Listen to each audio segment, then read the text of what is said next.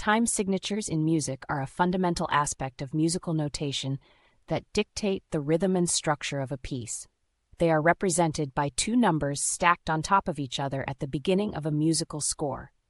The top number indicates the number of beats in each measure, while the bottom number represents the type of note that receives one beat. Common time signatures include 4 4, which is often referred to as common time, and is found in a wide variety of music genres. In 4 4 time, there are four beats in each measure, with a quarter note receiving one beat. This time signature is known for its balanced and steady feel, making it easy to count and follow along with.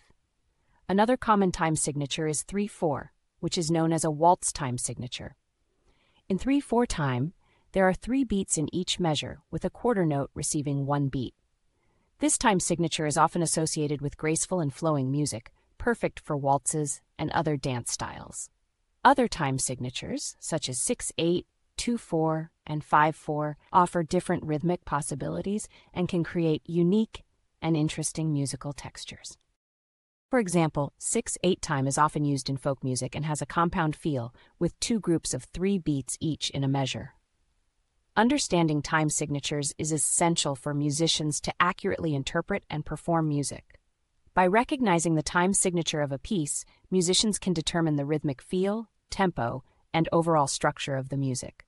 Whether playing classical, jazz, rock, or any other genre, having a solid grasp of time signatures is crucial for creating a cohesive and engaging musical performance.